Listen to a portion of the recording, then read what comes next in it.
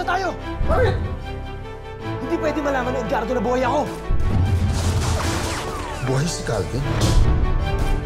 Mga tao ni Nestor yun. Tara! Buhay si Calvin!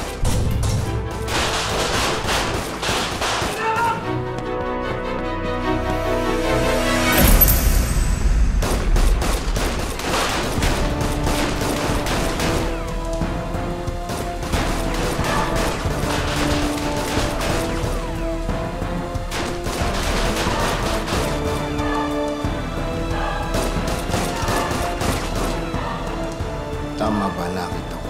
Si Antonio yung kasama ni Calvin? Si Antonio na mortal na kaaway ni Senyor?